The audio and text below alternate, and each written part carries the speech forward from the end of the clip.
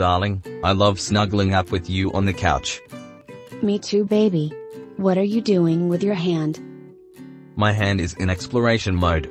Going down your leg to explore the deepest cave.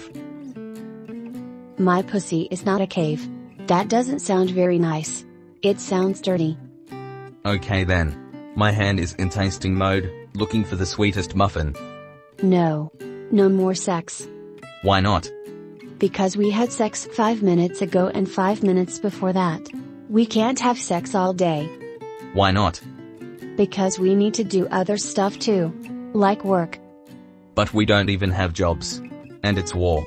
We should listen to the wise words, make love not war. We can make love tomorrow. Now you need to focus to find a job.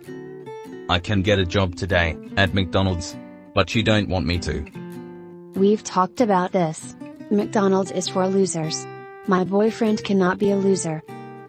Why do we even need a job? We have shelter, food and each other.